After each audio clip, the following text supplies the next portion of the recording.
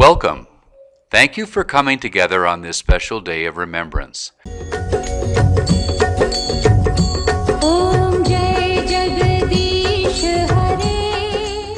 Diwali is one of the most important festivals celebrated in South Asia. It is celebrated on the darkest night of the year. Diwali, though, is the festival of lights. All over India, homes are decorated with lights and earthenware lamps filled with oil. These lamps are called diyas.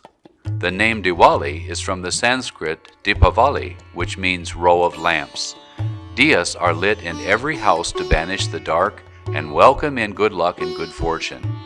How did this festival of lights begin? The following story answers this question. A good man called Rama was married to a beautiful princess called Sita. They had been banished to live in the forest with his brother Lakshman by his stepmother as she wanted her son to be king. Ravana, the demon king with ten heads, heard of Sita's beauty and goodness and planned to kidnap her. By magic, he conjured up a golden fawn. She asked Rama to capture it. He found Sita imprisoned on the island of Lanka. Hanuman, Rama, and Lakshman prepared themselves for battle. This was one of the greatest battles ever seen. The fighting lasted for ten whole days. It looked as though Ravana was going to win until Rama borrowed a special bow and arrow from the gods and shot him in the belly button. Rama shot Ravana, and the battle was won. The day Ravana was killed is known as Dashara, the defeat of ten. Rama and his family decided to return home. But it was a moonless, dark night, so the people of Ayodhya had an idea. They lit the roads with little lamps to show them the way home. It was a huge celebration that day. This is Diwali.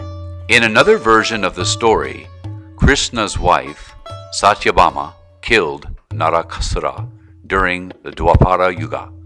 On that day, people celebrated Diwali.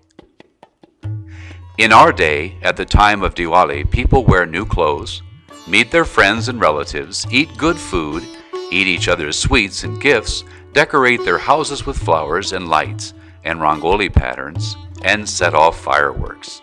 In the evening, many people hold a small prayer or puja in their homes. They honor Ganesh, the god of wisdom and good luck, the one who removes all obstacles from life. And they worship Lakshmi, the goddess of prosperity and good fortune. Lights are left burning all night so that Lakshmi may feel welcome and enter. Diwali is a festival of joy, prosperity, and good luck, and a celebration of the victory of good over evil, which is expressed through different stories in different parts of India.